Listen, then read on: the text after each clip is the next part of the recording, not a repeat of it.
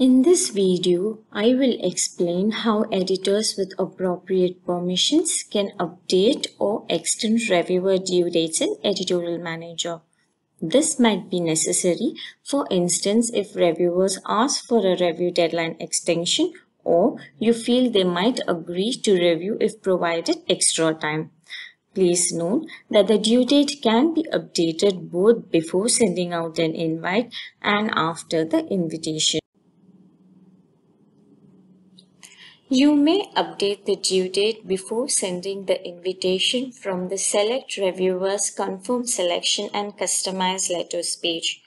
This page will be displayed after you have searched and selected appropriate reviewer candidates. Click Proceed to view the page.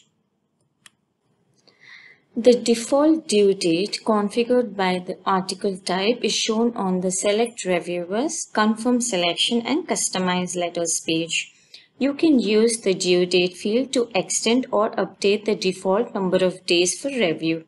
Note, this default number may vary per journal as well as whether the days are counted from the invitation date or from the date the reviewer agrees. Once you have edited the due date, click Confirm Selections and proceed to continue with the reviewer invitation. To update the due date after invitations are sent, access the manuscript details page from the Invite Reviewers menu on the Reviewer Selection Summary screen or from the appropriate folder on your editor main menu.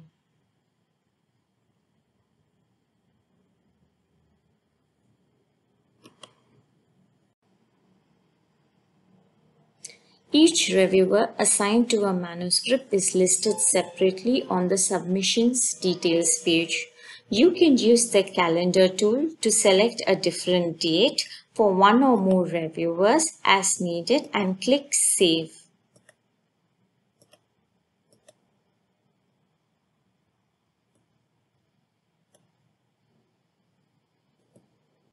After updating a review due date on the details page, Editors with permission may optionally also send a letter to notify the reviewer of the update.